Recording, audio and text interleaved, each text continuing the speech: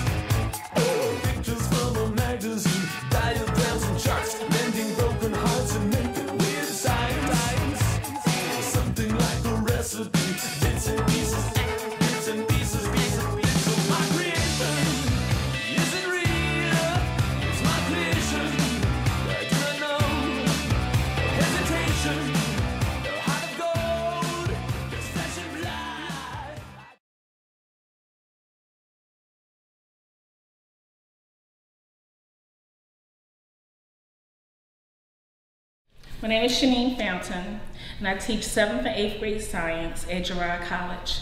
Uh, I teach 7th grade life science and 8th grade physical science, and I also teach both grades health. My name is John Romano. I'm the science department chair at Girard College. I teach biology and evolution and comparative anatomy. Hello there, my name is Scott Sowers. I teach at Girard College Upper School. I teach physics and astronomy. Hello, my name is Alex Genev and I teach 10th grade chemistry here in the science department at Girard College.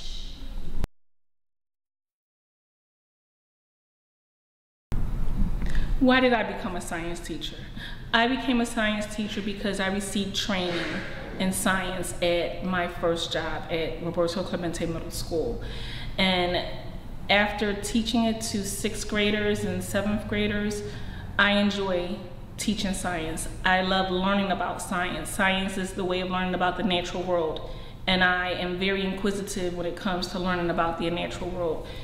Um, some of my fondest memories is when students don't get the concepts that I'm trying to teach, and then after a while they get it. And that makes me feel like, wow, I did something right. I'm like so engrossed with that. Um, the students who've had me know that I like to, you know, at any moment I, I'm like dramatic, probably over dramatic. Um, I love to rap. Those who know me know that my name is Def Money. Um, one of the greatest lessons I like to teach is about the cell.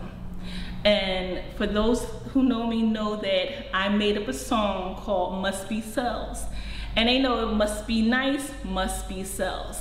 And this is for all of them, all of my students who know that I know how to rap. This is for you guys. They know I'm a rapper, not a singer, but here it goes. Must be cells, something that is basic in living things. Must be cells. Plant cell have a cell wall and chloroplast. Must be cells. Ribosomes, vacuoles, or organelles. Must be cells. That's for you guys. So, uh, I love working at Girard and I love teaching science and I love it when you get it and you give it back to me. So it's all about science. Hi, Markim Corbett, class of 2013, with a harpoon. And why do I like science? I like science because it's exact. Um, everything is what it is. There's no room for error. Everything's accurate. It brings reason to life, meaning of life. Are you gonna be pursuing a career in science? Yes, I'm gonna be in ele- I'm gonna be majoring in electrical engineering at the University of Pittsburgh next fall, and Uh, why did I become a science teacher? Mine is mine's pretty easy. I went to the University of Maryland. I graduated with a degree in evolutionary biology. I was gung ho to study Komodo dragon behavior. I was studying Komodo dragon behavior with the Smithsonian, um, and there was a moment, a defining moment when I realized I am I'm not going to continue research. I'm going to be a teacher, and it was we were performing an experiment with the dragons. We were watching their behavior, and crowds were walking by us in the zoo. And as I'm sitting there, a family uh, walks up, and a little kid looks at the uh, the Komodo dragon, and uh, he says, "Dad, what kind of lizard is that?" And uh, the guy, all he had to do was turn his head 30 degrees and read the placard that said Komodo dragon. But instead, he just goes, "Son, that's an iguana." and I got so angry. I was livid. Like my the other researcher had to just calm me down because I'm thinking to myself, you have traveled from wherever you came from. You see the largest and one of the rarest lizards in the world. You have the opportunity to, and you, you don't even want to read it. You just want to say the only lizard you know. And now that kid thinks that, well, that's just an iguana. They just completely ruined that kid's experience. And that's when I realized the research I'm doing doesn't matter. It's I need to go to people who are younger so that next time they go there, if the dad says that's an iguana, the kid can say, no, that's a Komodo dragon, dad. Uh, so that's why I said, this is it. I'm done. I'm becoming a teacher. Um, one of the things I like about science is that there's no definite answer. There's always something that you can learn. There's always something that can surprise you. And there's no clear path. It's it's really amazing how many things you can find looking for one answer and yeah, you may find it, but 20 million questions pop up in the process and you just you're never done. You're, you're never done with science, and it's always just, it's just, it's so fascinating and it's so invigorating just going out and trying to find answers. And every time you find something, you always come up with these other questions that you want answers to, and it's, it's really amazing. And I'm, I really enjoy that about science. It's, it's what really, like, drives me to learn more. Alex, what your Well, uh, my story is there was something similar in my story. I uh, I can tell you this. I have been never planning. I, I, I I've never planned to be a teacher anyway, and that's I remember it was pretty much like 10 years ago, even more than 10 years ago when I came first to this country. Uh, I was looking for a professional job, and um, was your original Uh, I am geologist. My, I was I was born and uh, grew up in Bulgaria. This is my native country, and I um, I had some research experience. I worked as a staff geologist for two years and doing different kinds of research. But uh, pretty much as John said, uh, at some point I, I I was not really happy with my research, maybe with my results, maybe with the way I was conducting my research and. Um, well, I, I was still looking for a job for geologist, professional job, and um, after exploring different opportunities and uh, just seeing different obstacles, um, I was really wondering what to do. And uh, at some point, it, it's it was my sister. At the time, she was working for a big uh, school system down in Maryland, and she said to me, "Why don't you become a teacher?" And I, my first reaction was, "You kidding me? I'm not, I, I can't do that. No, I'm not gonna do that."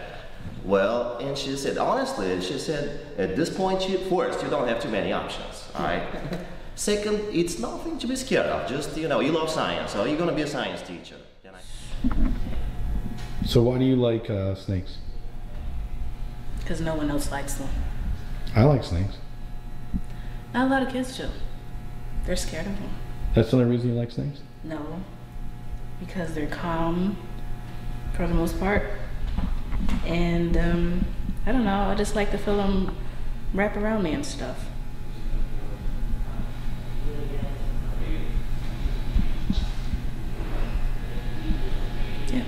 You know, that snake usually bites. Yeah. Uh, but I actually originally went into college to uh, my art. Art was my primary uh, major, and yeah, I, I was minoring in science, uh, general science, and then um, later I started to. Um, I took an astronomy class, uh, an intro to astronomy class, and it was it was amazing for me, um, and that was kind of the uh, the moment where I realized that uh, you know art's great and it, it's a it's a way to express a lot of, of a lot of my, my feelings. But what really opened uh, my mind up to the universe, literally, was the uh, was astronomy. Uh, I got in really well with the um, the professor, and he gave me a job as a um, as a TA or um, a lab assistant. And so uh, occasionally um, we would travel to Marshfield, which is where Edwin Hubble Mars. Travel to Mars. from Mars. Uh, Edwin Hubble's from. Uh, so, and there's a, there's an observ- observatory out there. So we would go out to Marshfield, and um, and it's in the middle of nowhere. It's Missouri. So there's there's stars everywhere, and uh, it's not light polluted like it is here in Philadelphia.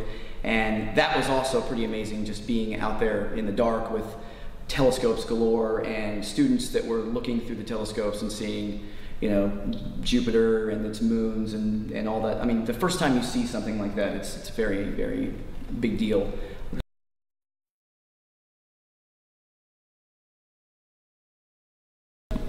My name is Tony Sonovi, class at 13.